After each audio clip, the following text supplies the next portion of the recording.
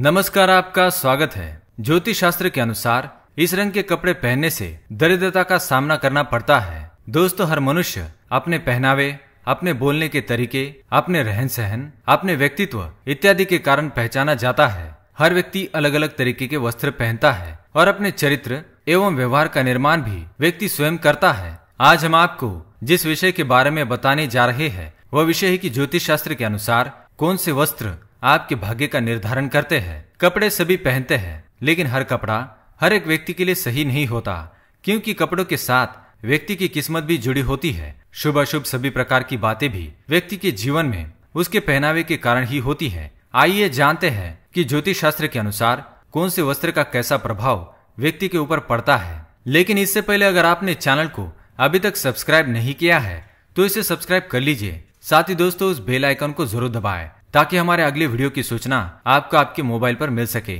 सबसे पहली बात, फटे पुराने कपड़े बिल्कुल भी ना पहने। बहुत से लोग अपने पुराने कपड़ों को पहनना बिल्कुल भी पसंद नहीं करते।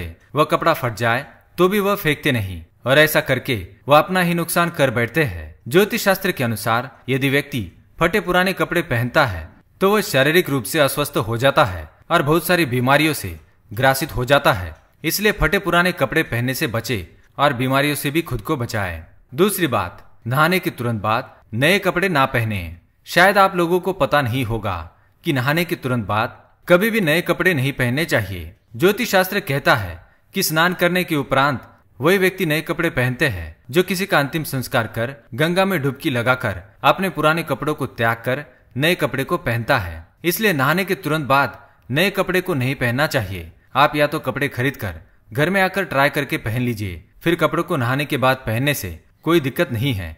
लेकिन कोई ऐसा कपड़ा जिसको आपने पहले कभी न पहना हो, या फिर वो बिल्कुल नया हो, उस कपड़े को नहाने के बाद भूल से भी ना पहने। ज्योतिष के अनुसार ऐसा करना शुभ नहीं होता। तीसरी बात, काले रंग के कपड़े ना पहने। हमेशा कोशिश करें शनिवार के अतिरिक्त किसी भी दिन काले रंग के कपड़े ना पहने। ज्योतिष शास्त्र के अनुसार काला रंग काली शक्तियों, बुरी शक्तियों का रंग होता है। यदि आपकी शनि की दशा बहुत खराब है तो ही आप शनिवार के दिन काले रंग के वस्त्र पहने। अन्यथा शनिवार को भी प्रयत्न करें कि आप काले रंग के कपड़े ना पहने। जिनसे आप प्यार करते हैं, उनको भी काले रंग के वस्त्र उपहार स्वरूप भेंट ना करें। चौथी बात, दूसरों के कपड़े ना पहने। ज्योतिष शास्त्र के अनुसार व्यक्ति को कभी भी किसी और के कपड़े पहनने नहीं चाहिए।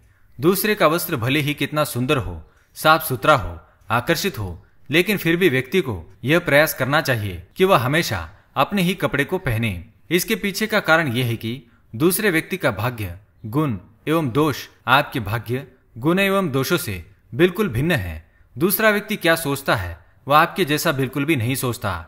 यदि आप दूसरे व्यक्ति के कपड़े को पहनेंगे तो आपकी सोच आपके गुण एवं दोष बिगड़ सकते हैं। हो सकता है कि सामने वाले का अवगुण उनके कपड़े बार बार पहनने से आपके अंदर आ जाए।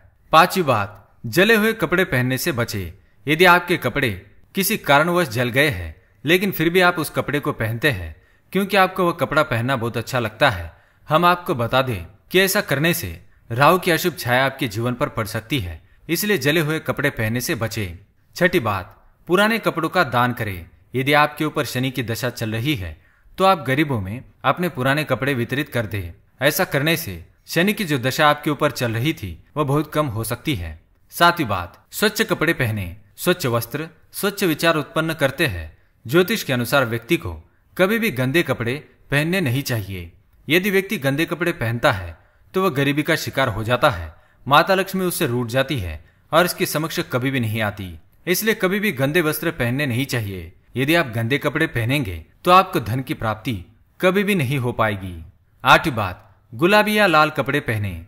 यदि आपको बात बात पर गुस्सा आता है और आप अपने गुस्से को चाहकर भी रोक नहीं पाते, जिस कारण आपसे लोग हमेशा दूर रहते हैं, ऐसी परिस्थिति में ज्योतिष शास्त्र के अनुसार, व्यक्ति को गुलाबी रंग या लाल रंग के वस्त्र पहनने चाहिए। जिन व्यक्तियों को बात बात पर गुस्सा आता है, लाल या गुलाबी रंग का वस्त्र उनके मन से नकारात्मक सोच को खत्म कर सकता है और सकारात्मक ऊर्जा प्रदान करता है। गुरु का रंग होता है लाल, इसलिए व्यक्ति को लाल रंग या गुलाबी रंग पहनने से अच्छा महसूस होता है। नवी बात, विद्यार्थी हरे रंग के वस्त्र पहने। हरा रंग बुध का रंग होता है। बुध से विद्या, बुद्धि, प्रसिद्धि हासिल होती है। यदि आप विद्यार्थी हैं तो आप हरे वस्त्र को अवश्य पहना कीजिए। हरे वस्त्र पहनने से आपको किसी भी पढ़ाई को चिंतन मनन करने में आसानी होगी। आप अपने अध्ययन पर अच्छे से मन लगा पाएँगे। ज्योतिष के अनुसार यदि आप इन समस्त बातों को ध्यान में रखकर वस्त्र पहनते हैं, आप अपने जीवन में आने वाले संकटों से खुद का बचाव कर सकेंगे एवं अपने जीवन में उन्नति भी कर पाएँगे। तो दोस्तों, कैसी लगी आपको ये वीडियो? अगर ये जानकारी पसंद आई तो वीडियो को लाइक करें, कमेंट करें और शेयर करें। साथ ही चैनल को सब्सक्राइब करें। धन्यवाद।